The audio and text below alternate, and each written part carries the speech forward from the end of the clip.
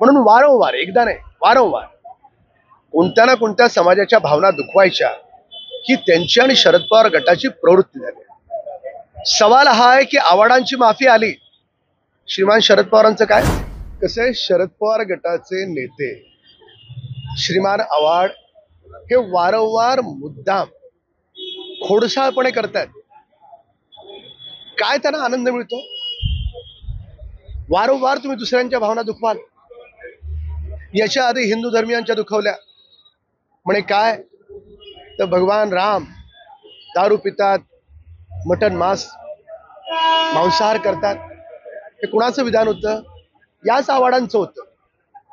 त्यांना पद्धतशीरपणे समजावून सांगितलं की ज्या वाल्मिकी रामायणाचा तुम्ही या ठिकाणी त्यावेळेस संदर्भ दिला तो संदर्भ चुकीचा आहे ते निश्चिद्ध रामायण आहे. तरी देखील वारंवार त्यांनी पत्रकार परिषद घेऊन वेगवेगळ्या ठिकाणी सर्व हिंदू धर्मियांचा त्यांच्या भावना दुखावल्या.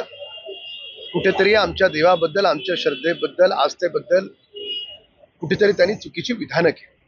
बरं एकदा नाही आहे आता पण मला तुम्ही सांगा ते मनुस्मृती ठीक आहे तो त्यांचा अधिकार आहे त्यांनी त्यांच्या भावना व्यक्त कराव्या पण त्या डॉक्टर बाबासाहेब आंबेडकरांचा एवढा मोठा फोटो आहे असं कसं म्हणू शकता दिसला नाही?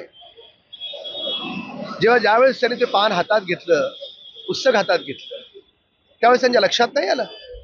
पूर्ण लक्षात आलं. पण अशा प्रकारची नेगेटिव्ह प्रसिद्धी ही देखील प्रसिद्धी आहे हे त्यांच्या पूर्णपणे मनामध्ये बिंबलेलं आहे.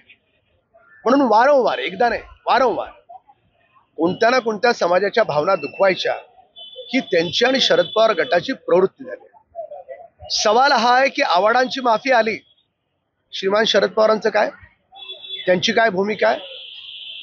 कोणत्याही प्रखर विषयावर पत्रकार परि परिषद घेणारे शरद पवार का गप्पा आहेत? श्रीमान शरद पवार गप्पा आहेत याचा अर्थ असा